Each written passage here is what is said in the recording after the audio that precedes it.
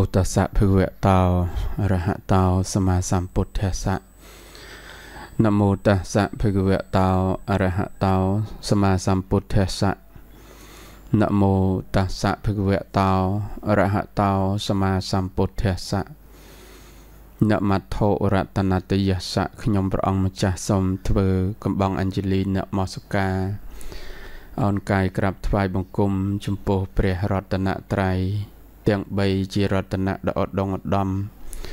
ប្រសើរខ្ពង់ខ្ពស់លើលោគួរជាទីគោរពសក្ការៈជ្រះថ្លាកោតក្រែងដល់យ៉ាងក្រៃលែងប្រសើរស្មើដល់ជីវិតនៃទូលព្រះបង្គំខ្ញុំព្រះករុណាសពសពកាលសូមនមស្ការអោនកាយក្រាបថ្វាយបង្គំសម្ដេចព្រះគមហាសង្ឃរាជទាំងពីរគណៈ ក្រាបថ្វាយបង្គំសម្ដេចព្រះមហាសមេធាធិបតីសម្ដេចព្រះសង្ឃនាយកនៃព្រះរាជាណាចក្រកម្ពុជាជាទីគោរពសក្ការៈសូមនមស្ការអោនកាយកថ្វាយបង្គំសម្ដេចព្រះសង្ឃនាយករងគ្រប់ព្រះអង្គក្រាបថ្វាយបង្គំសម្ដេចព្រះពុទ្ធជ័យមនីសម្ដេចព្រះជាគណៈព្រះមន្ត្រីសង្ឃគ្រប់ព្រះឋានានុក្រម ដោយសេចក្តីគោរពជ្រះថ្លាកោតក្រែងដល់យ៉ាងក្រៃលែងអំពីទូលព្រះបង្គំខ្ញុំព្រះករុណាសូមចម្រើនពររាប់អានចំពោះសម្ដេចឯកឧត្តមលោកជំទាវលោកលោកស្រីញោមញាតពុទ្ធបរិស័ទ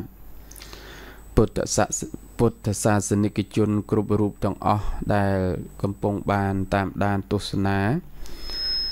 ស្ដាប់នៅការ live ផ្សាយបន្តផ្ទាល់ ក្នុងគណៈនេះ ដែលវត្តមានទូលព្រះបង្គំខ្ញុំប្រកាសរណាភិក្ខុសង្ឃរកិតោសួនសន្តិភាព កំពុងដំណើរការផ្សាយឡាយបន្តផ្ទាល់ចេញអំពីកฎលេខ29វត្តបទុមបដី សង្កាត់ចតុមុខខណ្ឌដូនពេញរាជធានីភ្នំពេញ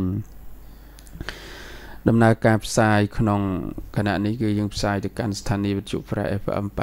87.7ពីម៉ោង 8ដល់ម៉ោង9យប់ហើយធ្វើការផ្សាយតាម page ហ្នឹងក៏ច្រើនម៉ោងហើយដែរពី3ម៉ោងដែរណាបានជាធម្មទានប្រគេនថ្វាយចែកជូនកណាប្រសង់គ្រប់អង្គញោមញាតពុទ្ធបរិស័ទទាំងអស់សិក្សានៅព្រះបរិយ័តព្រះបរិយ័តតិធัวណា ព្រះបរិយ័តហ្នឹងគឺជាផែនទីជាស្នាមគំនូសជាផ្លូវដែលយើងត្រូវសិក្សា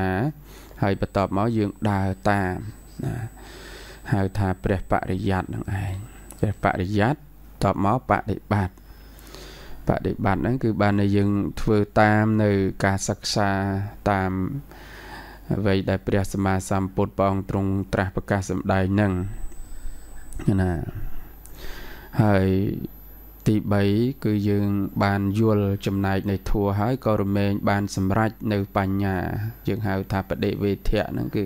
ចាក់ធ្លុះនៅក្នុងពធហ្នឹងដោយចំណែកនៃការយល់ដឹងត្រឹមត្រូវតាមហេតុបច្ច័យពិតមិនយល់បន្លំឬក៏យល់ដោយឆ្វេងទេណាមិនឆ្វេងពេកមិនស្ដាំពេកនឹងហើយចម្រើនពរញាតិញោមពុទ្ធបរិស័ទទាំងអស់នៅក្នុងអន្តរបណ្ដាញសង្គម Facebook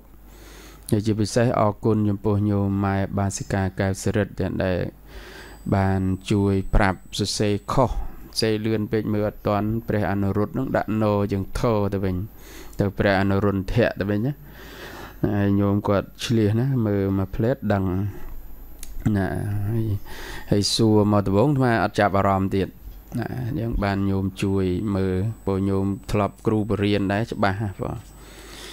អក្ខរាវិរុទ្ធអីហ្នឹងពេលខ្លះច្បាស់ជាងលោកទៀតព្រោះអាត្មាអីបន្លំបន្លំពេលខ្លះដែរបងមិនបន្លំអីទេសរសេរពេលញាប់ពេកទៅហើយកុំព្យូទ័រហ្នឹងវាវាយពេលខ្លះទៅចិត្តដៃវាក្បត់ចិត្តដែរណាបងដៃក្បត់ចិត្តចិត្តមិនអឺដៃក្បត់ចិត្តដៃហ្នឹងមិនគោរពចិត្ត ព្រោះការប្រើនៅ Unicode នៅលើ key computer ពេលខ្លះយើងបញ្ចូលជើងឬក៏ប្រើតួព្យាញ្ជនៈមួយមួយហ្នឹងវាមានរៀងរបស់ key វាអញ្ចឹងទៅហើយការប្រើ Unicode យើងញាតិញោមគុណចាស់គ្រប់អង្គធ្លាប់ប្រើយល់ហើយគឺយើងប្រើរបៀបដូចប្រកបណាប្រកបយ៉ាងម៉េចយើងវាយអញ្ចឹងដូចថាព្រះអញ្ចឹងយើងត្រូវសរសេរ ពោមុនហើយបានដាក់បញ្ចូលជើងរបានដាក់ស្អាតទៅព្រះហើយបើសិនជាអ្នកធ្លាប់រៀនលីមុនហើយសេតាមរៀងអសដូចសាច់ក្តីអញ្ចឹងត្រូវវាយសអេមុនហើយបានដាក់សអាហ្នឹងគឺសេតាមលីមុនខាន់លីមិនពីដំបូងសរសេរក្នុងកុំព្យូទ័រវាមានពីរប្រភេទហ្នឹង តាម lemon និងតាម unicode ដល់ពេលយើងចេញ unicode មកដូចងាយសរសេរច្រើន ពេល lemon សរសេរត្រូវគួបជើងអីច្រើនដែរហើយ unicode ស្រួលដែរมันពិបាកប៉ុន្តែតែមិនស្រួលហ្នឹងបញ្ចូលជើងទៅបាត់ដៃបាត់ជើងដែលយើងផ្សេងញាប់ពេកបច្ចេកទេសហ្នឹងល្អហើយប៉ុន្តែខុសមកពីយើងហើយអរគុណយោម៉ែបាសកាកាសរិទ្ធជួយកែសម្រួលអក្សរាវិរុទ្ធសរសេរនៅលើ page ហ្នឹងដាក់ថាព្រះអនុរុទ្ធ ហើយដល់ពេលមើលទៅវាព្រះអនុរោសអូដាក់ដាក់តជាងធបាទអាត្មាដាក់នជាងធវិញណាហើយដល់ឥឡូវកែតម្រូវទៅត្រូវហើយញាតិញោមអរគុណហ្នឹងហើយតម្រៃជើង4គង់តែជើង4ទេបងតម្រៃជើង4គង់តែមានផ្្លាត់ចេះថារីកិច្ចការថ្មីលែងអីនឹងផ្្លាត់ត្រង់ដូចបន្ទាត់ត្រាពុទ្ធញាណអញ្ចឹងបង ខ្មាស់ល្ងងទើបចេះខ្មាស់ក្រទើបមាន ចង់បាននិព្វានត្រូវបដិបត្តិធម៌រីកិច្ចការថ្មីឯលែងអីនឹងផ្្លាត់ប៉ុន្តែដូចថ្មសរសេរមិនមែនថ្មីទេប៉ុន្តែនៅតែផ្្លាត់ហ្នឹងឯងណាសេពេលខ្លះទៅរនឹកសរសេរត្រូវហើយប៉ុន្តែពេលសរសេរចេញមកវាខុសបានន័យថាដៃហ្នឹងវាមិនគោរពតាមចិត្ត ចិត្តទៅវាយទៅបើអរគុណបើបានជួយណាជួយសម្រួលពីពេលខ្លះទៅអាត្មាចម្រើនពរញោមដែរមិនថាតែអក្សរវិរុទ្ធទេសូម្បីតែគៀថាឬក៏សំដែងឬក៏បញ្យលអីទាំងណាដែលញាតិញោមគិតថាវាមិនទំនងវាឆ្កងវាមិនពេញលក្ខណៈញាតិញោមអាចជួយបន្ថែមសរសេរនៅក្នុងខមមិននឹងបាន ឬក៏អាចសរសេរនៅក្នុងអឺអឺ comment ឬក៏សរសេរផ្ញើតាម Messenger មកក៏បាន ជួយសម្រួលគ្នាដើម្បីថាធ្វើយ៉ាងណាឲ្យការសម្ដែងទៅចែកជាប្រយោជន៍ធម្មទានហ្នឹងចែកគ្នាស្ដាប់ទៅអាចយល់ព្រោះវត្ថុអំណងនៃការសម្ដែងហ្នឹងចង់ឲ្យអ្នកស្ដាប់ហ្នឹងយល់យល់អំពីគោលខ្លឹមសារនៃព្រះពុទ្ធដីកាដូចនៅក្នុងថ្ងៃនេះ កាលមុនពីល្ងាចមិញអត់បានផ្សាយទេដោយសារតែសុខភាពមិនសូវអំណោយផលហើយជាប់ទៅចូលរួមបន់ស្រោចស្រពសគុណវេរីប្រគេនដល់ព្រះអង្គព្រះទីបមនីញានតែមបៀព្រះមេកុដលេខ16ហើយក៏ជាព្រះប្រធាន ការកៈសង្វត្តបទុមបដីឡើងទីជាព្រះជាគណៈធនកិត្តិយស នៃព្រះរាជាណាចក្រកម្ពុជាដែលលោកប្រពធ្វើនៅនាស្រុកកំណើតរបស់លោកគឺស្រុកមេសាងខេត្តព្រៃវែងណាហើយបានទៅជាមួយព្រះអង្គព្រះបទុមរាំងសីខៀវខនហើយសម្ដេចព្រះពុទ្ធជ័យនេះព្រះអង្គយាងជាធិបតីណាអាត្មាទៅអ៊ីអ៊ីក៏ដែរខាងខាងដែរ ហើយមេឃអលឹមតិចតិចហើយមកវិញទៅក៏អស់កម្លាំងពុលឡានញាតិញោមមិនបានឆានឡានទេតែស្រេចតែពុលមិនដឹងមូលហេតុអីលែងពុលយូរហើយបើទៅនឹងឆានកាហ្វេហើយឆានកាហ្វេទៅក៏ស្រាប់ទៅជាឡើងឡានទៅងងីងងើអញ្ចឹងទៅរៀងវិលវិលហ្នឹងន័យថាសុខភាពមិនកាន់តែអន់ដែរហ្នឹងណាហ្នឹងហើយប៉ុន្តែអីទេมันដល់ថ្នាក់អឺ រឿងរ៉ាវអីធំឯងគ្រាន់ថាវាល្ងីល្ងើបន្តិចតិចចឹងទៅណាអញ្ចឹងទៅក៏ស្រួលបួលហើយมันជាបញ្ហាហើយថ្ងៃនេះក៏ផ្សាយបន្តទៀតហើយមុនថាសម្ដែងបន្តអំពីអឺពធគៀតថាថ្ងៃមុនប៉ុន្តែអីទេញាតិញោមអាចសិក្សាបន្ថែមទៀតចាស់ចូលរឿងថ្មីទៀតទៅឆាប់ចប់វវលើកជ្រៅជ្រៅពេកលើកគៀតថាដូចជានៅក្នុងភូមិ3ហើយនឹង កំណើត4អីកតិ5អីហ្នឹងអ្នកខ្លះគាត់អត់ដែលបានស្ដាប់ក៏អត់យល់អញ្ចឹងណាដោយពាក្យថាកាសានញ្ចាយតនៈវិញ្ញាណញ្ចាយតនៈអកញ្ចញ្ញាយតនៈនេវសញ្ញានាសញ្ញាយតនៈអីដែលបានរៀនធัวអត់ដែលយកចិត្តទុកដាក់ក៏នៅលឺមកកវីក្បាលដូចគោច្រាំងតិចមិនដឹងថាស្អីគេអានោះតាមពិតទៅអានឹងគឺជាអរូបព្រំហើយកិច្ចដែលយើងត្រូវចម្រើននោះ អញ្ចឹងត្រូវការសន្សំណាញាតិញោមមិនមែនគ្រាន់តែលឺម្ដង ចេះហើយចាំនោះក៏មិនទេដែរត្រូវតែមានការសន្សំរឿយរឿយហើយដូចអាត្មាធ្លាប់រៀនធ្លាប់អីក៏មិនប្រកាសថាយល់ទាំងអស់ដែរចំណែកខ្លះក៏នៅតែមិនទាន់យល់ហើយក៏វាមានផ្លាំងផ្លាត់បការៈផ្សេងផ្សេងដែរព្រោះធัวប៉ុន្តែសំខាន់ធ្វើម៉េចឲ្យយល់ត្រូវតាមហេតុបច្ច័យធัวពិតរឿងផ្លិចមេតិកាផ្លិចអីវាមិនមែនជាបញ្ហាទេ ចិត្តឲ្យស្គាល់ចិត្តចេតសិកឲ្យស្គាល់ចេតសិករូបឲ្យស្គាល់រូបនិព្វានឲ្យស្គាល់និព្វានអញ្ចឹងទៅហើយនឹងថាតណ្ហាឲ្យស្គាល់តណ្ហាទិដ្ឋិស្គាល់ទិដ្ឋិទៅពយល់ធัวមិនវង្វេងតែបើអត់ច្បាស់ទេពយល់ធัวទៅវង្វេងដល់អ្នកស្ដាប់ដែរថាស្អីទៅជាតួលោភៈអានឹងយើងរកមកតណ្ហាក៏នៅក្នុងលោភៈហ្នឹងចង់បានប្រាថ្នាសពគ្រប់នៅក្នុងលោភៈលោភៈចិត្តហ្នឹងណាជាអកុសលចិត្ត 8ដួងនឹងនៅក្នុងលោភៈនឹងទាំងអស់សេចក្តីប្រាថ្នាចង់បានជានេះជានោះអីអីគិតត្រេះរិះចង់បានសពគ្រប់អីសតតែនៅក្នុងលោភៈចិត្តណាអញ្ចឹងឲ្យយល់ថាអង្គធัวធំណាគឺបយលធម៌មិនវង្វេងទេសំខាន់អញ្ចឹងអាត្មាក៏ក៏ត្រូវតែសិក្សារៀនសូត្របន្តបន្តទៅដើម្បីប្រយោជន៍អីប្រយោជន៍ថាយើងរៀនបានយល់បានចេះខ្លួនឯងហើយពយល់ញាតញោមខ្លះទៅ ចំណែកណាដែលញាតញោមយល់បានអាត្មាថាឲ្យជួយប្រាប់គ្នាផង ប្រាប់តាមរយៈខមមិនដែរអាត្មាមិនដែលប្រកាសខ្លួនឯងថាជាកម្ពូលនៃអ្នកចេះចេះតែឯងដឹងតែឯងមិនទេណាតាមទៅដែលយើងបានរៀនមកគឺរៀនតាមគម្ពីរដីកាពុទ្ធសាសនាដែលព្រះអង្គទ្រង់ត្រាស់ប្រកាសសម្ដែងនឹងនៅក្នុងប្រសូតព្រះវិន័យព្រះអភិធម្មនឹងជាពិសេសគឺបានសិក្សានៅក្នុងព្រះសុតនបិដក ខតកនិកាយខតកបាថៈបិដកលេខ52ហើយដែលយើងបានអ្នកប្រាជ្ញពុទ្ធកោសាចារ្យអ្នកបញ្ញវន្តទាំងឡាយលោកបានខៃសេចក្តីនឹងមកនៅក្នុងធម្មបទកថា4ភាគណាហើយយើងបានសិក្សាមកនឹងភាគទី2នឹងទុតិយភាគនឹងចិត្តមួយឆ្នាំហ្នឹងណាគាត់ទៅរៀនហ្នឹងគាត់ណា សិក្សាទាំងអស់គ្នាសម្ដែងធัวហ្នឹងចិត្តមួយឆ្នាំហើយបងនឹងខែ8ចិត្តដាច់ទៀតហើយតិចតិចហ្នឹងខែ9 10 11 12ចប់មួយឆ្នាំទៀតហើយចប់មួយឆ្នាំហ្នឹងចេះតែកើនអាយុដែរការយល់ដឹងក៏មិនកើនទ្របអីក៏មិនកើនកើនតែអាយុហើយនឹងមុខជ្រួញមុខចាស់ហ្នឹងទេហើយនឹងកើនអត់ឈប់ណាអញ្ចឹងខ្ញុំបកណាអាត្មាហ្នឹងបានបានគិតឃើញថា ពេលវេលាដែលចេះតែកន្លងទៅពីមួយថ្ងៃទៅមួយថ្ងៃហ្នឹងគឺកន្លងទៅអត់ឈប់ឈរពេលវេលាមិនរងចាំបុគ្គលណាទេទោះបីស្ដាច់សេដ្ឋីមន្ត្រីនិមឺនអីអុកញ៉ាអ្នកមានអ្នកក្រណាក៏ពេលវេលាមិនរងចាំដែរមានតែយើងទេចេះតែចាំពេលវេលា តែពេលវេលាមិនចាំបុគ្គលណាឡើយគ្រប់គ្នាទាំងអស់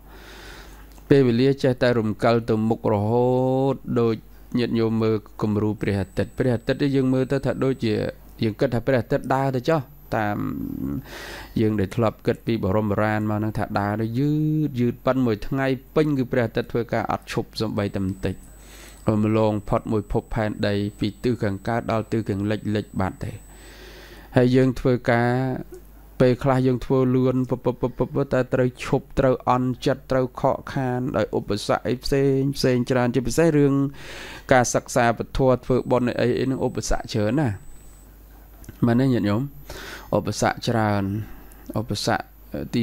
1ឧបសគ្គក្នុងខ្លួនយើង គឺធัวដែលជាគូបដិបៈជាមួយនឹងការធ្វើបន់ហ្នឹងគឺមាន កំណាញ់អីជាដើមមច្ឆរិយៈហ្នឹងអេសាអីចំណែនហើយការយល់ខុសអីលោភលន់លោភៈទោសៈមហៈហ្នឹងវាជាបដិបៈជាមួយនឹងការលះបង់ដូចជាការធ្វើសេចក្តីល្អអីប្រព្រឹត្តល្អហ្នឹងគឺវាជាគូសត្រូវនឹងគ្នាអញ្ចឹងបើយើងចម្រើនសេចក្តីល្អត្រូវលះនៅសេចក្តីអាក្រក់ហើយតែចម្រើនសេចក្តីអាក្រក់បាត់បង់សេចក្តីល្អហ្នឹងអញ្ចឹង ពីរហ្នឹងជាគូប្រឆាំងគ្នាអាចនៅជាមួយគ្នាបានទេឧទាហរណ៍ថាចិត្តបើកើតសទ្ធាសតិហេរេអោតបៈហើយវាលោភៈទោសៈមោហៈវាបាត់វាថយចុះមកចម្រើនអលោភៈទោសៈជាហេតុវិញនឹងចិត្តជាកុសលមហាកុសល8កើតឡើងអកុសលដតីនឹងវាថយចុះទៅណាអញ្ចឹងញាតិញោមពុទ្ធបរិស័ទត្រូវ ការសិក្សាពិចារណា នៅ ក្នុងចំណែកនឹងទាំងអស់គ្នាអញ្ចឹងទៅបងដើម្បីបានការស្វែងយល់បន្តនៅក្នុង ការបន្តជីវិតប្រព្រឹត្តធម៌ទេបន្តជីវិតដើម្បីប្រព្រឹត្តធម៌មិនមែនបន្តជីវិតដើម្បីធ្វើរឿងរ៉ាវដតីទេគឺយើងបន្តជីវិតដើម្បីប្រព្រឹត្តធម៌ហើយប្រព្រឹត្តយ៉ាងណាតាមដែលកិច្ចស្វែងយល់នៅក្នុង ពុទ្ធិកាដែលព្រះមានពភាព្រះអង្គទ្រង់ត្រាស់ប្រកាសសម្ដែងហ្នឹងគឺជារឿងមួយដែលដែលសំខាន់ណាស់យើងស្វែងយល់អស់គ្នាអញ្ចឹងថ្ងៃហ្នឹងគឺអាត្មានឹងប្ររពអំពីរឿងរបស់ព្រះអនុរុទ្ធព្រះអនុរុទ្ធនេះដែលព្រះអង្គប្ររពហ្នឹងប្ររពមិនចេះមានរឿងកើតឡើងពាក្យលើកទោសនិន្ទាអីមិនចេះចប់ទេសម័យព្រះហ្នឹងក៏មានដែរព្រះអនុរុទ្ធកាលនោះលោកប្រើសម្ពុត បាំងសកលជ័យវរសំបីតែព្រះសម្មាសម្ពុទ្ធព្រះអរហន្តធំធំប្រមុខលៀនសរិបុត្រអីសម័យនោះព្រះសម្មាសម្ពុទ្ធក៏ព្រះអង្គប្រើសម្ពុទ្ធបាំងសកលជ័យវរដែរដោយសារតែពេលនោះនិយាយអំពីកហបដីជីវរមិនទាន់មានមិនទាន់កើតមានណាបង ខបដីជីវរហ្នឹងនៅមិនទាន់មានទេព្រះអង្គក៏មិនទាន់ទ្រង់អនុញ្ញាតកថាអញ្ចឹងខាបដីជីវរមិនទាន់មាន លោកនៅប្រើសម្ពុតបាំងសុគលដែលលោកទៅបាំងសុគលយកអំពីរៀនផ្សារព្រៃស្មោសានដែលជាទីចោលសាក់សពដែលគេបោះចោលរុំខ្មោចរុំអីហ្នឹងក៏ទៅឆាកបាំងសុគលហ្នឹងបានន័យថាឆាកហ្នឹងគឺទាញយក បាំងសុគលៈហ្នឹងគឺថាបាំងសុគលហ្នឹងទាញយកអំពីទីអឺសម្ពុតឬក៏កណាត់ដែលដែលជាប់ដោយទូលីមន្ទិលផ្សេងផ្សេងហ្នឹងយកមកគក់ជលក់ដានដេទៅ ធ្វើទៅជាចៃវរណាសម្រាប់ប្រើប្រាស់ពេលនោះព្រះអនុរុទ្ធលោកក៏បានស្វែងរកចៃវរហ្នឹងហើយព្រះអង្គទ្រង់ប្រពព្រះអនុរុទ្ធព្រះអង្គទ្រង់គង់នៅវត្តវេលវ័នពេលហ្នឹងបាទ ណាហើយទ្រង់ត្រាស់សម្ដែងពគាថាថាយះសាសវាបរិក្ខៃណាណាបរិក្ខៃណាបានន័យថាអាសវៈទាំងឡាយរបស់ព្រះហរិយបុគ្គលនឹងអត់មានទេនឹងលោកចង់បញ្ជាក់យ៉ាងថាអាសវៈគឺសេចក្តីជាប់ចម្ពាក់នៅក្នុងតណ្ហានិងទិដ្ឋិទាំងឡាយដែលជាអាសវៈជាគ្រឿងមន្ទិលសៅមងនៅក្នុងបតីក្នុងចិត្ត របស់ព្រះរិយបុគ្គលអត់ទេលោកអស់ទៅស្បើយទៅសូនទៅហើយថយទៅហើយអត់មានទេ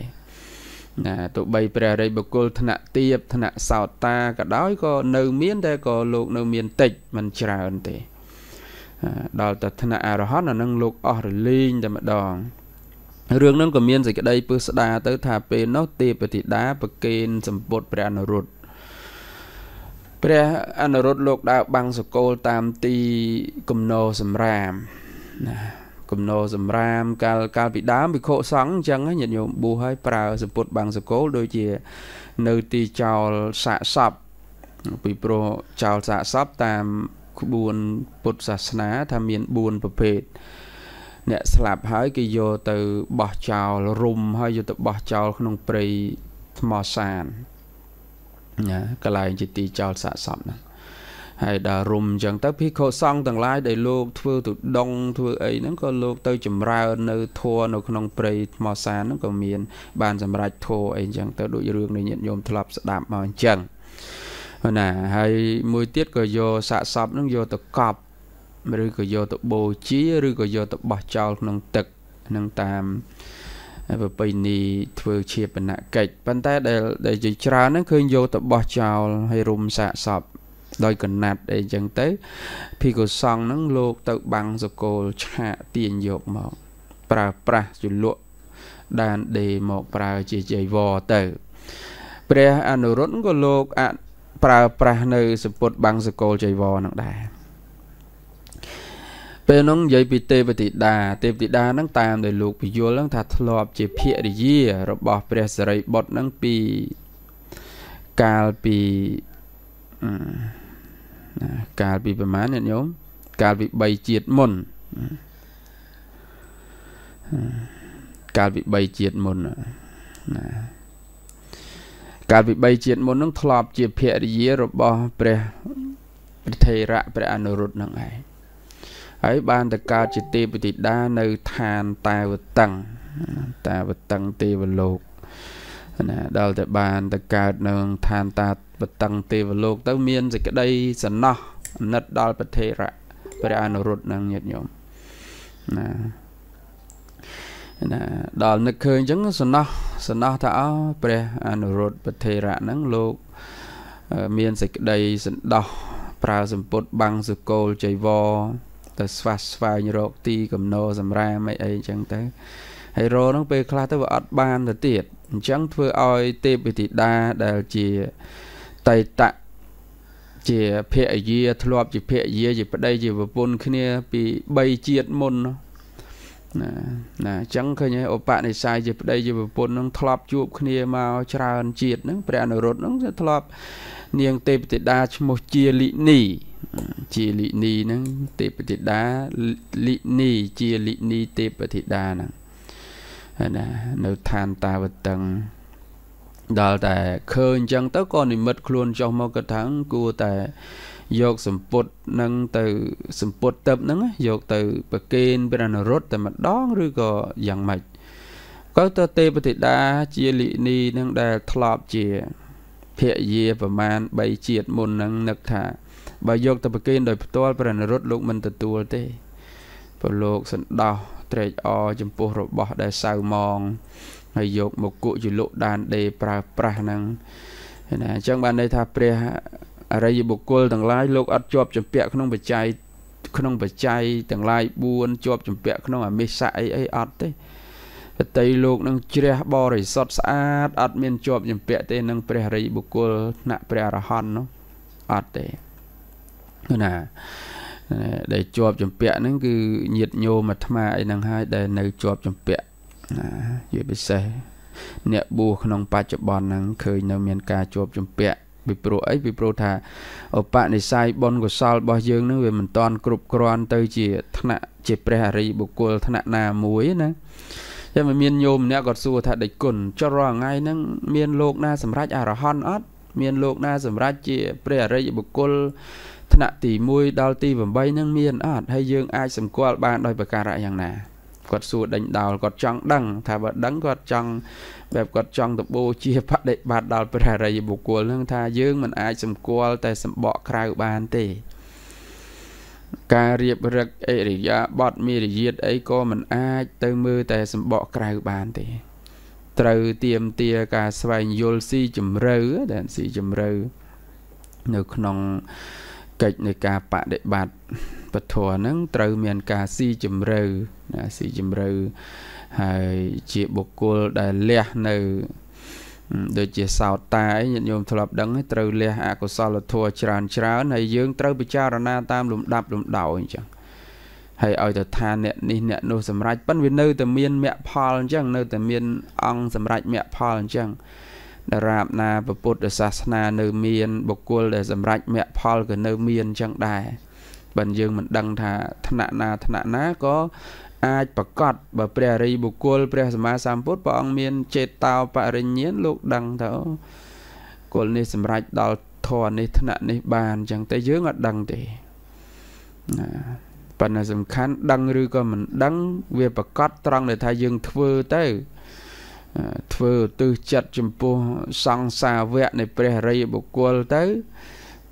មានសង្ឃពីរប្រភេទហ្នឹងអាចធ្វើបន់បានហើយមែនតែនទៅ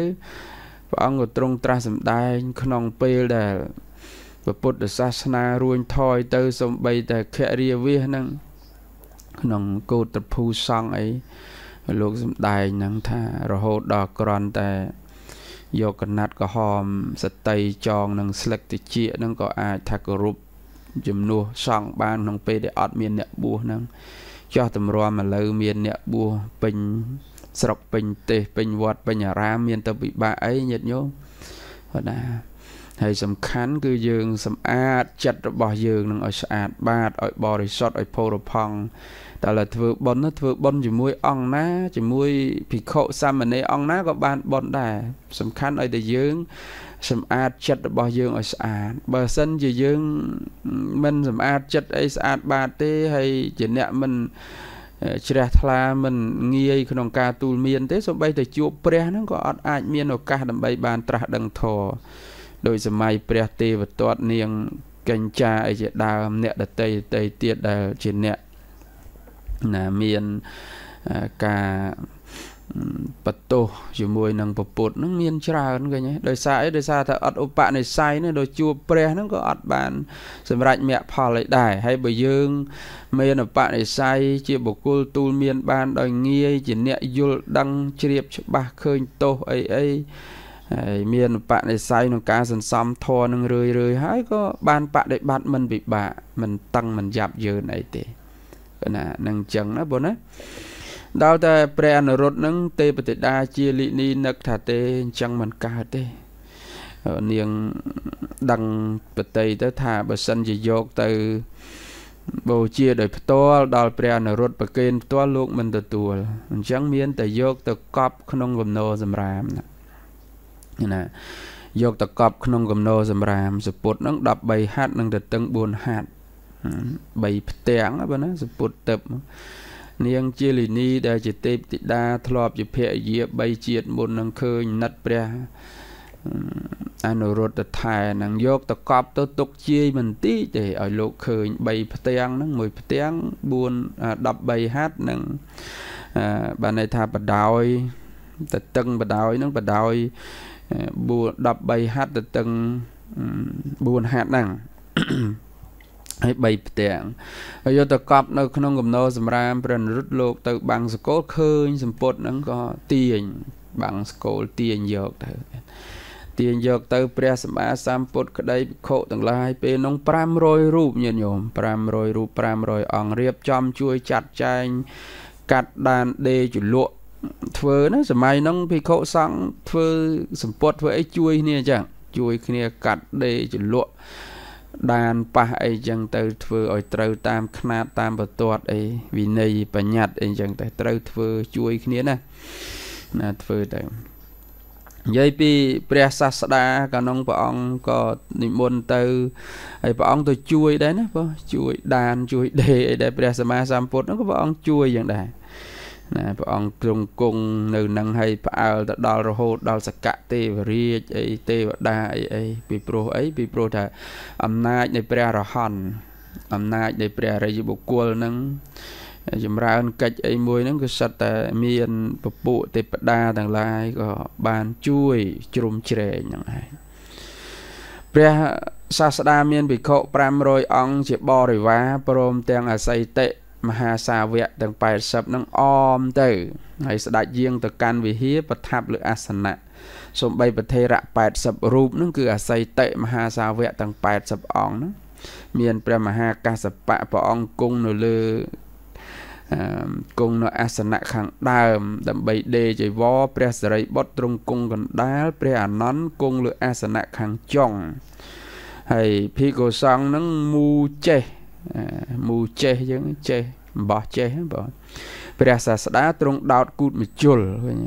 សហការនេះជួយសំបីព្រះសម្មាសម្ពុទ្ធញាតិញោមមើលណាព្រះមោគលាននឹងរងចាំនាំយកនៅវត្ថុឯណា ដែលភិក្ខុសង្ឃត្រូវការមកឲ្យសង្ឃសំបីនាងទេពធីតាទៅកាន់ស្រុកហើយក៏បបួលអ្នកស្រុកចាត់ចែងភិក្ខាហាយកពាក្យថាអ្នកដល់ចម្រើនទាំងឡាយថ្ងៃនេះ ព្រះសាស្តាដែលមានព្រះអស័យតិមហាសាវកទាំង80អង្គភិក្ខុសង្ឃប្រមាណ500អង្គទ្រង់ធ្វើចៃវរប្រគេនព្រះនរុត្តថែដែលជាលោកម្ចាស់របស់យើងទាំងឡាយទ្រង់ប្រថាប់ក្នុងវិហារជាមួយនឹងភិក្ខុសង្ឃ500រូប អ្នកទាំងឡាយគប្បីកាន់យកនៅយាគូជាដើមផត់ឯយាគូទឹកដោះគោទឹកដោះគោថ្លាទឹកដោះគោគេហៅថាបញ្ចគោរសហ្នឹងទឹកដោះគោមាន5រសជាតិទឹកដោះគោខាប់ទឹកដោះគោរាវទឹកដោះគោជូរទឹកដោះគោស្ងោរមួយបំពុះអីអញ្ចឹងទៅកាន់យកទៅប្រគេនដល់ថ្វាយប្រគេនដល់ព្រះសម្មាសម្ពុទ្ធព្រមទាំងភិក្ខុសង្ឃ ពេលនោះឯងញាតិញោមទាំងឡាយពុទ្ធបរិស័ទទាំងជ្រះថ្លាជ្រះថ្លាមែនតើផ្អើលកក្រឹកកក្រែងយកទៅបបោពោពាសណាបបោពោពាសក្នុងថ្ងៃនឹងសល់ផាត់ទាំងឡាយនឹងច្រើនបបោយគូទឹកដោះគោទឹកខ្មុំអីទឹកអំពៅស្ករអំពៅអីនឹងសល់ច្រើន ទៅក៏មានភិក្ខុសង្ឃទាំងឡាយហ្នឹងលើកទោសទៀតដែរញាតិញោមលើកទោសថាទេ ព្រះអនុរុទ្ធនឹងមិនគួរណាធ្វើផាត់ឲ្យសល់ចោលខ្ជះខ្ជាយចឹងទេនេះតាមមើលលោកចង់អួតចង់បង្ហាញ ថាលោកនឹងខ្លាំងណាស់លោកនឹងអស្ចារ្យណាស់មានបរិស័ទច្រើន មានញាតច្រើន មានអ្នកទំនប់បំរុងច្រើនអីអីអញ្ចឹងទៅបានជាខំប្រឹងប្រែងបកុសប្រកាសអញ្ចឹងទៅឲ្យយកមកសល់ចោលបបោពោពាស មិនគួរណាព្រះអនុរុទ្ធនឹងធ្វើអញ្ចឹងទេហ្នឹងហើយភិក្ខុទាំងឡាយរិះគន់ដូចយើងសប្ងៃអញ្ចឹងសប្ងៃហ្នឹងពេលខ្លះទៅក៏រិះគន់ជាពិសេសរដូវបនកាន់បិណ្ឌជុំបិណ្ឌអីអញ្ចឹងទៅឃើញបបោម្ដងម្ដងហ្នឹងគេរិះគន់គេលើកទោសថាអ្នកបួសនឹងខ្ជះខ្ជាយ អ្នកបួសនឹងបង្ហាញសេដ្ឋកិច្ចជាតិអីអីអីចឹងទៅត្រង់លបែងបនបៀអីនោះអត់អត់បង្ហាញទេមកបង្ហាញត្រឹមតែប្រគេនចង្ហាន់សង់ដើម្បីរក្សាប្រពៃណីទំនៀមទម្លាប់តែប៉ុណ្ណឹងក៏ទៅជាបង្ហាញទៅវិញហើយបោះបាយបិណ្ឌក្តីការប្រគេនថ្មក៏មិនទៅគាំទ្រថាឲ្យបោះអីអញ្ចឹងចោះទេប៉ុន្តែប្រពៃណីណាដែលល្អគួររក្សាទុកប្រពៃណីណាដែលមិនល្អអានឹងញាតញោមពុទ្ធបរិស័ទ អីដែលលោកយល់ដឹងលោកលះបង់ទៅហើយញាតិញោមណាដែលលោកពេញចិត្តធ្វើអាហ្នឹងក៏ធ្វើតាមអំណាចចិត្តដែលគាត់ជ្រះថ្លាអញ្ចឹងគេដំណើរសល់ពីដូនពីតាមកបើបបការីជនបពៈបរោះខ្មែរយើងបើសិនជាអត់ប្រយោជន៍សុទ្ធលោកមិននាំធ្វើទេលោកមិននាំធ្វើទេអញ្ចឹងបានថាពេលខ្លះទៅទើសទាស់ហួសហេតុទៅក៏វាអត់មានបានចម្រើនអីដូចជា ចង្ហាន់បសង់អីបបោអញ្ចឹងគេថតប្រហោះអីអញ្ចឹងទៅថាលោកសង្ឃនឹងអូបបោពោពិហួហេតុប្រើប្រាស់មិនចេះសន្សំសំចៃមិនសន្តោសអីតាមពិតទៅពេលដែលបបោនឹងមានប្រមាណថ្ងៃញាតិញោមមានប្រមាណថ្ងៃហើយមានប្រមាណអង្គលោក5 6ម៉ឺនអង្គនឹងបបោបានប្រមាណអង្គបបរិបោបានប្រមាណវត្ត ហើយបបោពោពាសនឹងបានប្រមាណថ្ងៃដូចនៅភ្នំពេញសំបីតែវត្តបទុមវតីហ្នឹងវត្តសម្ដេចជាអង្គម្ចាស់ទាំងពីរអង្គក៏ពិតមែនប៉ុន្តែ ខែភ្ជុំ15ថ្ងៃហ្នឹងកាន់បិណ្ឌ14ថ្ងៃភ្ជុំមួយថ្ងៃហ្នឹងគ្រាន់បបោក្រៅពីនោះឆាន់ចង្ហាន់តាមកត់ណាដោយសារអីដោយសារតែប្រសង់ច្រើនកន្លែងរៀនច្រើន មានឧបត្ថម្ភគ្រប់គ្រាន់ឯណា ហើយដល់សម្បូរ3 4 10ថ្ងៃហ្នឹងគេថតប្រហោះគេរិះគន់គេថ្មាស់តេះដៀលអ្នកដែលមានសមាទិដ្ឋិទៅក៏រំលងបានទៅมันមានទោសដោយសារជឿស្ដាប់នៅបុគ្គលដែលយកមួយចំណែកទូចណានោះយកទៅរិះគន់ទេប៉ុន្តែមែនតែនទៅចង្ហាន់ដែលសល់បបោពោពាសហ្នឹងបើវត្តណាមិនដឹងវត្តជាច្រើនណាឥឡូវហ្នឹងគឺលោកមិនដែលយកទៅចាក់ចោលទេអត់ដែលយកចាក់ចោលទេញាតិញោមយកទៅចែកដល់ ពួកអ្នកដែលគាត់ទុរគតជន ហើយជាពិសេសយកទៅចែកនៅតាមមន្ទីរពេទ្យដូចជាពេទ្យគន្ធបុផាពេទ្យនានាឬក៏យកទៅចែកដល់បងប្អូនយើងដែលខ្វះខាតអត់ដែលសល់ចោលទេបើពំនោះសោតក៏ញាតញោមដែលអ្នកចូលរួមទាំងអស់ហ្នឹងលោកទទួលទានដែរអត់ដែលយកទៅចាក់ចោលអីបបោពោពីហើយយកទៅចាក់ចោលតែប្រទេសតែប្រដាសនោះទេណា ប៉ុន្តែចំពោះពេលខ្លះហេតុអីបានអាត្មាលើករឿងហ្នឹងមានភិក្ខុសង្ឃមួយអង្គហ្នឹងរិះគន់ព្រះអនុរុទ្ធលោកឃើញថាផាត់ទាំងឡាយនឹងសល់អញ្ចឹងទៅលោកថាមិនគួរណាព្រះអនុរុទ្ធនឹងទៅប្រកាសឃោសនាបរិស័ទមកកគោកដីចង់បង្អួតបង្ហាញគេថាលោកនឹងមានបរិស័ទច្រើនថាលោកនឹងមានអ្នកគ្រប់គ្រងច្រើន ថាលោកនឹងមានអ្នកចូលចិត្តច្រើនអញ្ចឹងទៅធ្វើឲ្យចង្ហាន់ ភោជននឹងសល់បបោពោពាសកោចោលកោទឹកកោដីអញ្ចឹងទៅថាมันគួរណាទេมันគួរណាលោកម្ចាស់ធ្វើអញ្ចឹងទេអញ្ចឹងទៅណាហើយដល់តែមានសេចក្តីនឹកឃើញអញ្ចឹងទៅក៏កើតការនិន្ទាដល់កើតការនិន្ទាដល់ព្រះព្រះអនុរុទ្ធនឹង ហើយពេលហ្នឹងពាក្យពេចហ្នឹងកាលណាតែមានការលើកអញ្ចឹងហើយក៏វារីករាលដាលឮដល់ព្រះសម្មាសម្ពុទ្ធដល់ប្រសោតតទឹកនៃព្រះអង្គហើយព្រះអនុរុទ្ធជាព្រះអរហន្តលោកមានទៅជាប់ចម្ពាក់តេតិនវៈវិនអីនឹងបច្ច័យ4ហ្នឹងអត់ទេប៉ុន្តែសទ្ធាកើតឡើងចំពោះញាតិញោមពុទ្ធបរិស័ទដែលជាអ្នកមានការជ្រះថ្លាក្នុងគុណក្នុងសិល ក្នុងកិច្ចនៃគុណធម៌ហ្នឹងក៏លះបង់ទៅហើយវាសល់ទៅក៏យកលោកទទួលទានទៅទៅមកប្រើប្រើដូចជាចង្ហាន់បិណ្ឌបាតអីបើព្រះអរិយបុគ្គលដូចញាតិញោមធ្លាប់ស្ដាប់ហើយថាលោកប្រើត្រឹមតែមកគ្រប់ទេសល់ប៉ុណ្ណឹងយកធ្វើអីយកទៅហើយបានយើងនៅស្រុកយើងធ្លាប់សូត្រធម៌ពេលដែលព្រះសង្ឃលោកឆាន់ហើយហ្នឹងញាតិញោមខ្លះគាត់សូត្រថាអត់បានសុំអញ្ចឹងខ្លាចមានទោស តាមពិតទៅបើសុំទៅក៏វាជាទម្លាប់ល្អតែប៉ុន្តែមិនជាអីទេប៉ុន្តែពេលខ្លះបើនិយាយពីចង្ហាន់ឲ្យទៅលោកឆាន់ឲ្យលោកលះបង់ចោលហើយចាប់ពីម៉ោង12ទៅលោកមានប្រកាន់យកអីទៀតទេបើញាតិញោមខ្លះគាត់ខ្លាចអញ្ចឹងគាត់សូត្រមានញោមខ្លះគាត់ចេះដែរថាសេះសាំងមៀងកលាំងណាវន្ទាហាងខ្ញុំព្រះករុណាអោនកាយថ្វាយវន្ទាសម្ភោជនីវត្ថុសាល់ សេះសល់ពីព្រះអង្គភិក្ខុសង្ឃជាមង្គលគុណបុណ្យជួយតម្កល់ដំកាំងផលសួនពៀនពូជពងវងតកូលកូនចៅចូលមូលសំទៀនពេលនេះខ្ញុំស្រីឃ្លានប្រសង់មានដាក់ទៀនខ្ញុំអញ្ចឹងញាតិញោមខ្លះគាត់សូត្រដាក់អត់បានសូត្រអញ្ចឹងអត់ហ៊ានទួលទៀនទេតាមពិតវត្ថុទាំងអស់ហ្នឹងវាជាយាវកាលឹកលោកប្រើប្រាស់បានពីព្រឹកដល់ថ្ងៃត្រង់ផុតពីព្រឹកដល់ថ្ងៃត្រង់ទៅគឺលោកមិនអាចយកមកប្រើប្រាស់បានទៀតទេ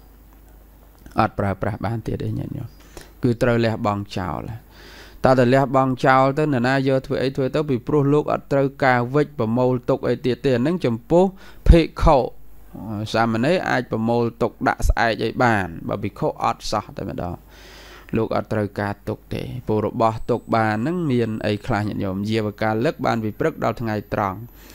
ហើយព្រឹកថ្ងៃត្រង់ហ្នឹងឆាន់តែពីរពេលតា មានតែឆានអី3 4 10ពេលណាពីព្រឹកហ្នឹងព្រឹកម្ដង ថ្ងៃម្ដងហើយល្ងាចទៅក៏អត់ទេ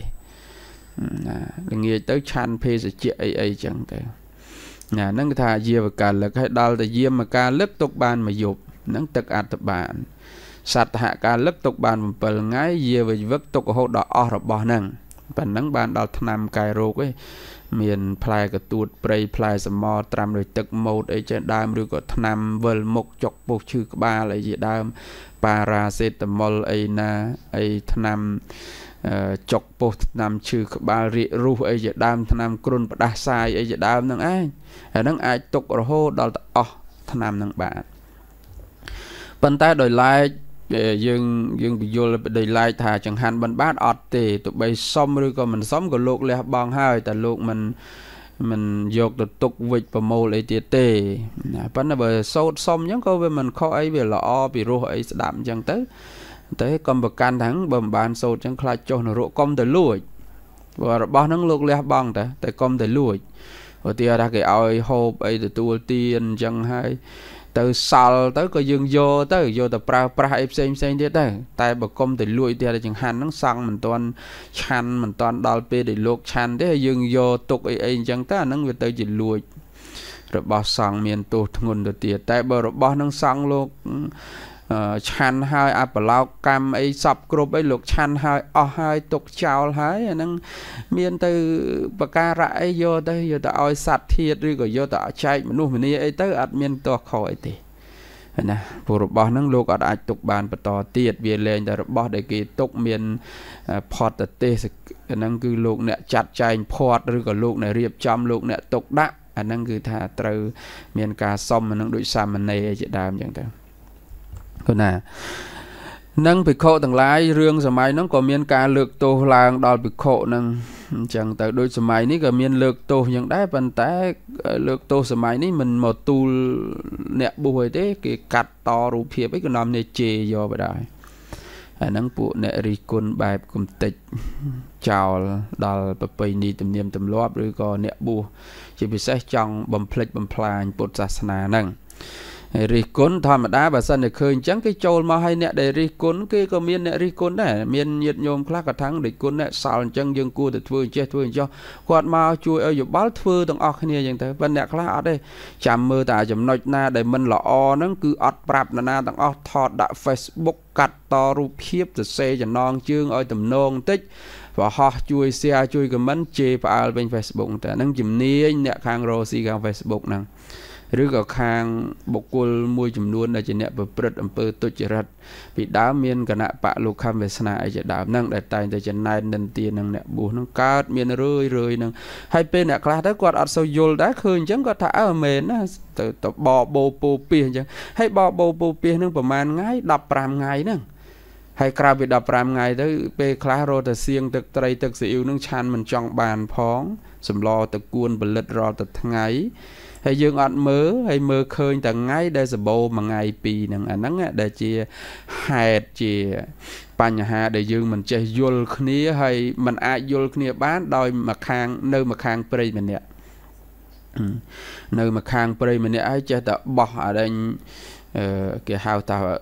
លំពេងពាកនឹងទៅវិញទៅមកអញ្ចឹងទៅអត់មានយល់គ្នាត្រូវថាមកសាកសួរមកបើថាអ្នកបួសនឹងបំផ្លាញចេញចុះចុះមកសួរមកចោះបនលបែងបៀអាប៉ោងស្អីស្អីពេញនឹងផឹកស្រាអីអីដែលជារឿងបំផ្លាញដ៏ធ្ងន់ធ្ងរមិនដំគ្នាទៅរិះគន់ត្រឹមតែសម្បត្តិធ្វើបុណ្យទានប៉ុណ្ណឹងហើយមករិះគន់អាហ្នឹងវាដូចជាខុសខុសបច្រាស់ទិសដៅអញ្ចឹងទៅ រឿងយកទៅចាក់ចោលអីអាត្មាមិនគ្រប់ត្រូលដែរទេបើថានៅសល់នៅអីយើងចែកគ្នាទទួលទានទៅឲ្យមានអនាម័យទុកដាក់ត្រឹមត្រូវចែកគ្នាទៅអានឹងល្អហើយបងសម្រាប់អ្នកបួសគ្រប់គ្រប់អង្គគ្រប់គ្រប់គ្នាហ្នឹង មិនថាតែសម័យហ្នឹងសម័យព្រះក៏មានរឿងនឹងកើតឡើងញាតិញោមមើលព្រះអនុរុទ្ធហ្នឹងគេរិះគន់ឲ្យព្រះអនុរុទ្ធព្រះអរហន្តលោកមិនដែលទៅឃោសនាប្រម៉ែប្រមូលអីដូចបើអ្នកបួសបច្ចុប្បន្នដូចអាត្មាអីបើថាធ្វើចង្ហាន់លោកឬក៏រៀបចំកិច្ចបុណ្យអីប្រកាសខ្លះណាបើព្រះអរិយបុគ្គលលោកអត់ទាំងប្រកាសទេលោករៀបចំទៅនរណាដឹងក៏ធ្វើណាមិនដឹងអត់ទៅបើលោកទៅបិណ្ឌទៅបិណ្ឌអញ្ចឹងទៅហើយបើគេសួរក៏ប្រាប់ទៅបើឲ្យដើរឃោសនាគៀងកោប្រម៉ែប្រមូលអីអត់ទេ ពីព្រោះព្រះអរិយបុគ្គលកិច្ចលោកអត់មានត្រូវធ្វើរឿងទាំងអស់ហ្នឹងឯងកិច្ចលោកគឺត្រូវចម្រើនបដិបត្តិដើម្បីរលាស់ខ្លួនចោលចាអកិលេសអពមង្គលអីនេះទេប៉ុន្តែយើងបច្ចុប្បន្ននេះបើមិនប្រកាសមិនប្រាប់ដឹងតែអត់ដែរញាតិញោមពេលខ្លះប្រកាសប្រាប់ឲ្យចង់អត់ផងតម្រាំអត់ប្រកាសអត់ប្រាប់ទៀតចប់ចប់បដ ாய் ព្រោះអញ្ចឹងរឿងប្រកាសទៅញាតិញោមណាដឹងគាត់ធ្វើទៅគាត់ធ្វើទៅដឹងហើយមិនធ្វើក៏តាមដំណើរទៅមានអីអានឹងវាត្រូវតែអញ្ចឹងព្រោះណាហើយតទៅទៅក៏ភិក្ខុទាំងឡាយហ្នឹងក៏ឃើញរបស់សេះសល់អីក៏រិះគន់រិះគន់ហ្នឹងថាព្រះអនុរុទ្ធនឹងគឺជាបុគ្គលអួតអាងអីណាចឹងចឹងទៅសពគ្រប់ស្រេចតរនឹកឃើញថាចឹងទៅថាចង់បង្ហាញញនួតអីអី ជាបុគ្គលដែលមានញាតច្រើន មានអ្នកគ្រប់គ្រងច្រើន មានលៀបច្រើន មានអមិស័កច្រើនចឹងទៅគឺណាចឹងទៅក៏លឺដល់ព្រះសម្មាសម្ពុទ្ធព្រះអង្គក៏សួរភិក្ខុទាំងឡាយអ្នកទាំងឡាយក៏កំពុងនិយាយរឿងអីពោលអំពីអ្វីចឹងទៅ ទៅក៏ភិក្ខុហ្នឹងក្រាបទូលព្រះអង្គទៅប្រាប់ពីរឿងហ្នឹងថារឿងព្រះអនុរុទ្ធនឹងឯងជាបុគ្គលដែលអំនួត អួតអាងចឹងទៅទៅឃោសនាប្រម៉ែប្រមូលបរិស័ទមកយកចង្ហាន់មកបបោពូពីសគោចោលគោទឹកគោដីវាគួរណាស់ប្រើត្រឹមតែឥឡូវភិក្ខុសង្ឃមាន500អង្គអសីតិមហាសាវក80ព្រះមានមួយអង្គប៉ុណ្ណឹងហើយទំនប់បំរុងឲ្យគ្រប់ត្រឹមតែផាត់ប៉ុណ្ណឹងទៅចាំបាច់យកមកសល់ចោលបបោពោពេសចឹងធ្វើអីចឹងហើយ ហ្នឹងក៏តាមដំណើរតាមដំណងចឹងទៅព្រះអង្គក៏ទ្រង់ត្រាស់សម្ដែងថាមនាលភិក្ខុទាំងឡាយព្រះអនុរុទ្ធលោកមិនដាល់មានបតីជាប់ជំពាក់ស្អិតទៅនឹងលៀបយោស័កបច្ច័យនឹងអីទេអត់ទេហ្នឹងហើយឧបថៈទាំងឡាយញាតទាំងឡាយដែលមកនឹងឯងរោគ ការទំនប់បំរុងដល់ភិក្ខុសង្ឃនឹងកើតឡើងដោយសទ្ធាព្រះអនុរុទ្ធលោកគ្មានទៅជាប់ចម្ពាក់ទេបុត្ររបស់តថាគតគឺអនុរុទ្ធថែនេះមិនមានចិត្តជាប់ចម្ពាក់ទៅនឹងបច្ច័យទេបច្ច័យ4នេះអីហ្នឹងអត់មានជាប់ចម្ពាក់ទេហើយគ្មានការទៅបិណ្ឌបាតអីទេអាហ្នឹងវាកើតឡើងដោយសទ្ធាទឹកចិត្តរបស់ញាតិញោមពុទ្ធបរិស័ទហ្នឹង ជ្រះថ្លាហើយក៏បាននាំមកនៅផាត់ផងបបរយគូអីដឹកដោះគោស្គរអំពៅអីអញ្ចឹងទៅយកមកប្រគេនទៅ ហើយក៏វាច្រើនទៅសល់ទៅអញ្ចឹងប៉ុន្តែភិក្ខុទាំងឡាយលើកទោសនឹងលើកទោសត្រង់ថាអនុរុទ្ធនឹងដូចជាអួតអំនួតអួតអាងណាហើយខំទៅប្រម៉ែប្រមូលយកឲ្យមកសល់ចោលប៉ុន្តែបច្ចុប្បន្នគេមិនត្រឹមថាប៉ុណ្ណឹងគេថាអ្នកបួសនឹងបំផ្លាញសេដ្ឋកិច្ចជាតិទៅទៀតនោះ ណាបំផ្លាញសេដ្ឋកិច្ចជាតិអ្នកដែលគិតថាអ្នកបួសបំផ្លាញសេដ្ឋកិច្ចឬក៏ជាអ្នកអ្នកបួសនឹងគឺជាអ្នកបំផ្លាញនឹងមានតែ2ទេចំនួនប៉ុលពត គឺខាងប៉ុលពត ខាងអង្គការប៉ុលពតហ្នឹងគេគិតអញ្ចឹងដែរថាអ្នកបួសជាកោសិកាងាប់ជាឆ្លើងសង្គមអីចឹងទៅគឺណាហើយដល់ក្រោយមកសម័យក្រោយនេះគឺមានតែលោកខំវាសនាទេដែលគិតអញ្ចឹងដែរ ថាប្រពៃណីទំនៀមទម្លាប់ទាំងឡាយក្នុងពុទ្ធសាសនារួមទាំងវត្តអារាមអ្នកបួសនឹងផងក៏ជាកន្លែងដែលបំភ្លេចបំផ្លាញនឹងឯងរហូតដល់ថាអ្នកបួសនឹងកម្លាំងមមមធំធំនឹងមិនគិតមកធ្វើការគិតយកឲ្យគេយកចង្ហាន់ទៅប្រគេនណាវាទៅជាអញ្ចឹងទៅវិញអញ្ចឹងចាំបាច់ហៅថាអ្នកបួសទៅអីបើអញ្ចឹងត្រូវសឹកទៅធ្វើការងារទាំងអស់គ្នាបំណងប្រកួតហ្នឹងគឺចង់មែនតើគឺចំណែននឹងអ្នកបួសនឹងឯង ក្នុងដំណើរនៃការស្វែងយល់ពីការបដិបត្តិពធអីអីហ្នឹងអត់មានគិតអញ្ចឹងទេហើយបើយើងអញ្ចឹងមានគិតចាំថានេះអ្នកបួសនេះកុហកអីណាបើយើងគិតអញ្ចឹងវាអត់មានអ្នកបួសមានកុហកអីមានពុទ្ធសាសនាមានកលែងគោរពបដិបត្តិអីអត់ទេអាហ្នឹងវាទៅជាទូទៅស្មើភាពគ្នាទៅវាមានទៅពុទ្ធសាសនាឯទៀតអាហ្នឹងនៃហ្នឹងយើងឃើញច្បាស់ថាវត្ថុម្ដងគឺចង់រំលាយចោលនៅអ្នកបួសនឹងឯង អាហ្នឹងកន្លងមកហើយសម័យព្រះមានការរិះគន់អញ្ចឹងបានជាព្រះសម្មាសម្ពុទ្ធនឹងព្រះអង្គទ្រង់ត្រាស់សម្ដែងពគាថាហ្នឹងបងហើយស្អែកអាត្មានឹងបញ្យល់អំពីពគាថានឹងបន្ថែមប៉ុន្តែហ្នឹងក៏សូមលើកអានពគាថានឹងសិនបង ព្រះអង្គក៏ទ្រង់បានត្រាស់សម្ដែងបន្តអនុសន្ធិពាក្យដែលភិក្ខុនឹងបានលើកឡើងជាបរាមពវិតហើយព្រះអង្គក៏ទ្រង់សម្ដែងទៅបញ្ជាក់អំពីទឹកបតីរបស់ព្រះរិយបុគ្គលបើដោយអាត្មាអីនៅជាប់ជំពាក់ខ្លះឬញាតញោមគុណចាស់អីគ្រប់អង្គអីតែបើព្រះរិយបុគ្គលដូចជាព្រះអរហន្តជាពិសេសព្រះអនុរុទ្ធអីលោកអត់មានជាប់ជំពាក់អីផងដែលញាតញោមស្ដាប់កាលពីល្ងាចមុនហ្នឹងគឺនិយាយថាបតីរបស់លោកហ្នឹង ដំណើរនៃការប្រព្រឹត្តទៅរបស់ព្រះអរហន្តហ្នឹងគឺអត់មានដាននៅក្នុងចំណែក5ហ្នឹងទេដាននៅក្នុងចំណែក5ហ្នឹងអីខ្លះគឺនៅក្នុងភព3កំណើត4កតិ5ឃើញទេញាតិញោមហើយនឹងថេតិវិញ្ញាណថេតិ7និងសត្តាវាស័ក9 ក្នុងដំណើរនៃចំណែកទាំង5នេះគ្មានដានស្នាមប្របាទឬស្នាមជើងរបស់ព្រះរិយបុគ្គលទេ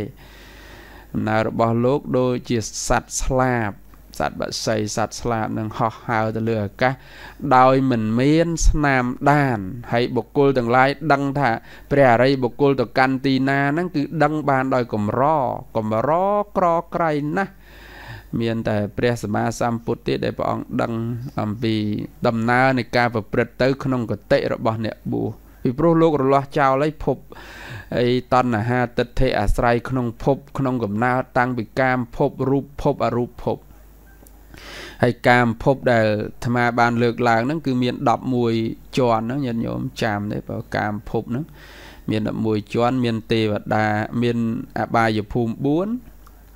នរកប្រែតអសុរកាយទេរិឆានមនុស្សមួយ ឋានកដាលហ្នឹងគឺឋានមនុស្សហ្នឹងឥឡូវហ្នឹងយើងកំពុងនៅឋានកដាលហ្នឹងតែអត់មានប៉ុនធ្លាក់ទៅឋានក្រោមតែមានប៉ុនកុសលធ្លាក់មកឡើងមកលើមកហើយដល់ទៅឋានលើទៅទៀតឬក៏ថាឋានទេវលោកហ្នឹងក៏លោករាប់មាន6មានចាតមហារាជការតាវតੰយាមាតោសិតនមាបរណមិតសវតីអញ្ចឹងទៅ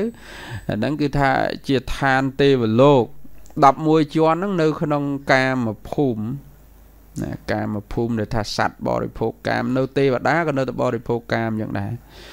ណានឹងដែលព្រះអង្គសម្ដែងហើយព្រះអរិយបុគ្គលលោកអត់មានស្នាមដាននៅក្នុងក្នុងកាមភូមិរូបភូមិរូបភូមិនឹងក៏អត់នៅដែររូបព្រំ16ជាន់នឹងក៏អត់មានព្រះអង្គមានមកស្ថិតនៅក្នុងនឹងដែរ ព្រំបរិសជាព្រំបរោហេតាមហាព្រំមាអីហ្នឹងទៅរហូតដល់សត្យសាសត្យស័យអកណិតថាហ្នឹងអត់ទេលោករលាស់ចោលហើយរហូតដល់អរូបព្រំមានអាកាសានញ្ចាយតនៈវិញ្ញាណញ្ចាយតនៈអកិញ្ចាញាយតនៈនេវសញ្ញានាសញ្ញាយតនៈក៏លោករលាស់ចោលផុតរហូតដល់វិញ្ញាណណដ្ឋិតិ7ឬក៏សត្តាវាសៈ9ក៏លោកលះចោលអស់អត់មាននៅជាប់ជំពាក់ទេ មិនបាច់ឡើយនិយាយដល់ថាបច្ច័យ4លុយកាក់ទ្រព្យសម្បត្តិអីអីបើសូម្បីតែភពឋានទាំងអស់នឹងលោកលះចោលអស់ទៅហើយហើយមានទៅជាប់អីត្រឹមសម្បត្តិបច្ច័យ4បាយទឹកនំចំណីត្រីសាច់អីអីលៀបសការៈកពេកពុកនឹងដូចទឹកមាត់ដែលលោកស្ដោះចោលហ្នឹងនឹងព្រះអរិយបុគ្គលលោកឃើញហ្នឹងដូចទឹកមាត់ដែលលោកស្ដោះចោលអញ្ចឹង តែការបរិភោគប្រើប្រាស់បច្ច័យ4របស់លោកគ្រាន់តែញ៉ាំងជីវិតឲ្យតាំងនៅដើម្បីប្រព្រឹត្តព្រមចរិយធម៌តែមួយយ៉ាងអត់មានខ្វល់អីទាំងអស់តែអ្នកបួសយើងបច្ចុប្បន្ននៅមានជាប់កង្វល់ដោយកិច្ចនេះកិច្ចនោះណាបងពីព្រោះអីពីព្រោះថាមិនតាន់លុះលុះជាព្រះអរិយបុគ្គលថ្នាក់ណាមួយនៅឡើយអញ្ចឹងអញ្ចឹងក៏ព្រះអង្គទ្រង់ត្រាស់សម្ដែងប្រកាសថានឹងពាក្យថាដែលប្រពចំពោះព្រះអនុរុទ្ធ និងចំពោះភិក្ខុដែលលើកទោសព្រះអនុរុទ្ធហ្នឹងថាយសាសវាបរិខៃណាអាហារេចៈអនិស្សតោសញ្ញតោអនិមិតោចៈវិមកខោយសៈគោចរោអាកាសេវៈសកន្តានੰបតន្តសៈទុរិនទុរិនយ៉ាង ណាគាថាហ្នឹងដូចដូចគ្នាទៅនឹងគាថាមុនដែរបងដែលប្រពជាមួយនឹងគាថាដែលប្រពជាមួយនឹងព្រះពេលិតពេលដ្ឋសៃសៈណាបងពេលដ្ឋសៃសៈហ្នឹងដូចស្តៀងគ្នាស្តៀងគ្នាដែរបងស្តៀងគ្នាដែលប្រពរឿងនឹងហ្នឹងហើយស្អែកនឹងបានបន្តសម្ដែងបញ្យលអំពីខ្លឹមសារនឹងទាំងស្រុងណាបង ខ្លឹមសារទាំងស្រុងឥឡូវដោយសារតែម៉ោងគៀកហើយអាត្មាគ្រាន់តែប្រែទេអានដងទៀតពោយះសាសវាបខបរិខៃណាវាបរិខៃណាបងយះសាសវាបរិខៃណាអាហារេចៈអាហារេចៈអនិសតោសញ្ញតោអនិមិតោចៈវិមកខោយះសកោចរោអា កាសេវៈសកន្តានੰបតន្តសៈទុរុណយ៉ាងណាដែលប្រែជាខេមរៈភាសាយើងថាភាសាជាតិយើងណាបល័យអញ្ចឹងញាតិញោមស្ដាប់អត់បាន ប្រែមកថាជនណាអស់អាសវៈទាំងមិនអាស្រ័យតណ្ហានិងទិដ្ឋិណាអស់អាសវៈទាំងមិនអាស្រ័យតណ្ហានិងទិដ្ឋិក្នុងអាហារ